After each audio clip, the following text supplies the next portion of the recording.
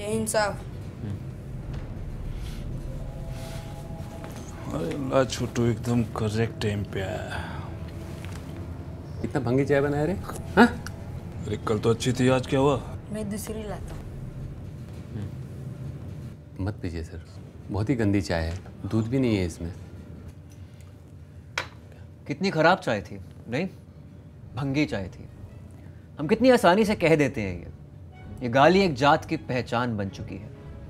Article 15 कहता है कि किसी भी तरह का भेदभाव गुना है।